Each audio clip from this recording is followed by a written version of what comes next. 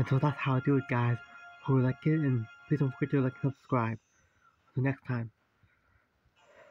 Yeah.